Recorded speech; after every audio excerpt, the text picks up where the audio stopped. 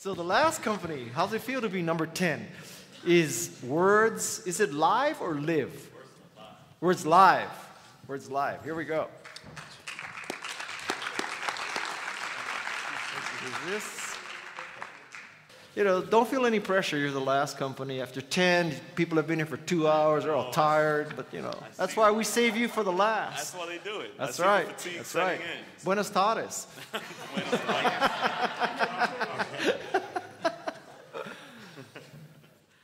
go? All right, buenos tardes.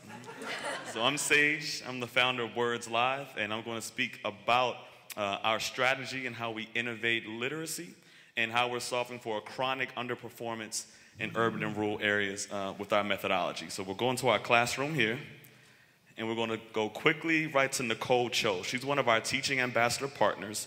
She faces the same pain points that many of her colleagues do. Uh, they're time starved, they're attempting to engage their students, uh, and they're trying to wrestle with these challenging standards. And so we come in with supplemental material, and we're able to improve performance, improve engagement. Now, she's in Prince George's County, Maryland, one of our three partners, and we're at just under half a million dollars in contracted services. So we'll talk a bit more about what we do with the schools there.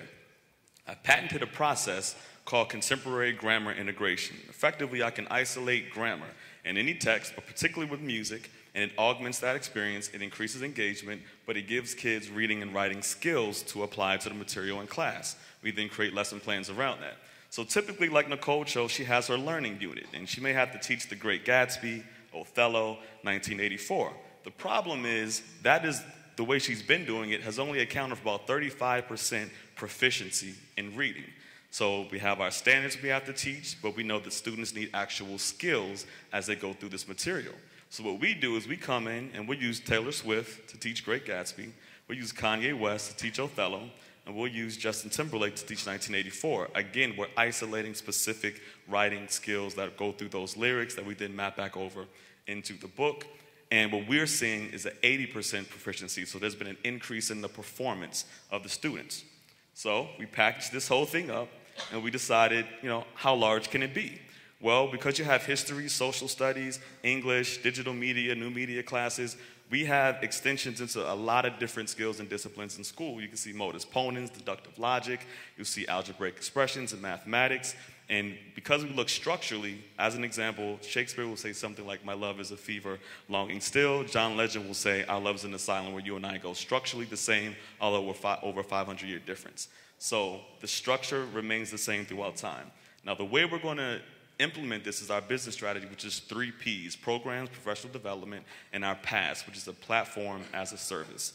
So we'll talk a little bit about that now. Our market for these three P's is large. You can see 21 billion for programming, 18 billion for PDs, and then 9 plus, and I know that, that measure gets fudged sometimes, but 9 plus billion in platforms like ours. And so the platform looks, the way it works is a subscriber based model. We go in and do this program for schools. We then train teachers to do it themselves, and we then leave the platform behind for them to continue to build. We would like the teachers to, tr- to treat them as content creators that they are, and we give them royalties. So they're paid royalties, think Spotify model. And then this is shot out because we use a bunch of artist integration, shot out through social media. Think Periscope. You're periscoping live into the classroom when the lesson plan is streamed. And this gives students some agency over their education. They become co creators of the lesson plans because they know the music that they can then co create with their teachers, and they're creating lesson plans on the fly um, in the classroom. It's a subscription based model. We're looking at 50 bucks a year for teachers, 99 cents for students, uh, and we want to make teachers' income much, much, much more robust. Uh, and our projections now, these are our three revenue lanes the programs, the PDs, and the platform. Right now, we're increasing our districts, but we look at that platform as being the anchor of the business into the future.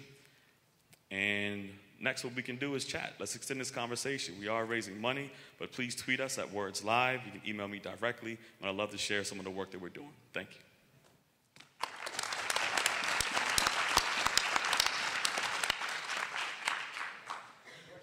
So can you clarify um, what this contemporary grammar instruction, what does that mean?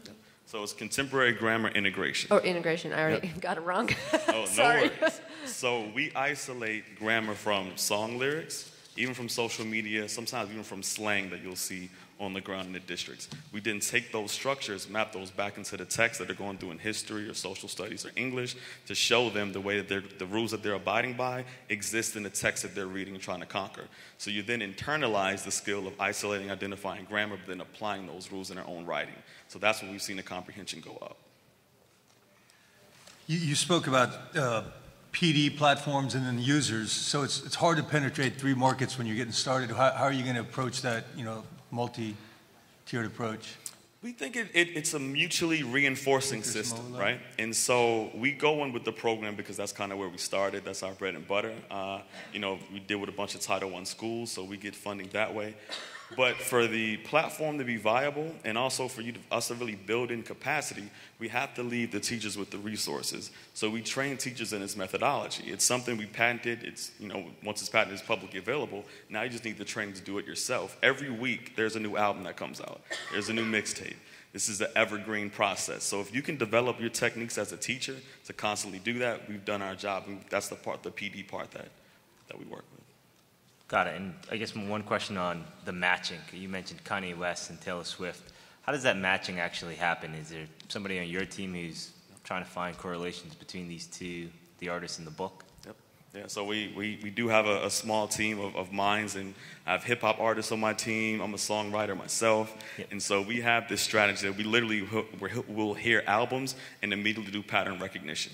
So that's where it starts. And the algorithm looks at there are certain rules that will justify what a figurative language uh, selected text looks like. An extended metaphor has exact same structure. An analogy has exact same structure. A New York Times article, an essay has exact same structure.